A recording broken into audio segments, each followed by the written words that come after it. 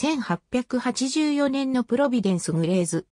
プロビデンス・グレーズは、1878年から1885年まで、ロードアイランド州プロビデンスを本拠地とし、メジャーリーグのナショナルリーグに所属していたプロ野球チーム。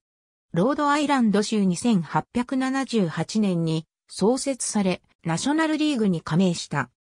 セイバー等の資料によると、この球団は1879年に当時ブラウン大学の選手だったウィリアム・エドワード・ホワイトをチームに所属させており、ホワイトは1879年6月21日に1試合だけ試合に出場した記録がある。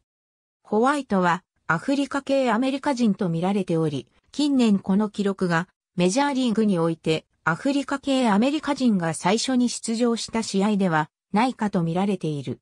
チームは参加当初から常にナショナルリーグの上位に位置し、2年目の1879年には、ポール・ハインズが首位打者を獲得、リーグ優勝を成し遂げた。1880年6月17日には、後に野球殿堂入りするモンテボードがメジャーリーグ史上2度目の完全試合を達成している。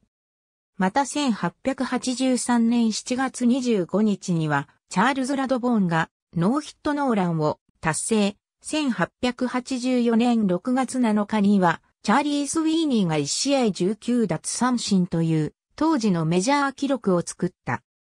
二度目のリーグ優勝は1884年のことで、この時はユニオンアソシエーション結成に伴う選手不足の中、チャールズ・ラドボーンがシーズン59勝を挙げ、この年から始まったアメリカンアソシエーションの優勝チームとの年間王者決定シリーズにも勝利した。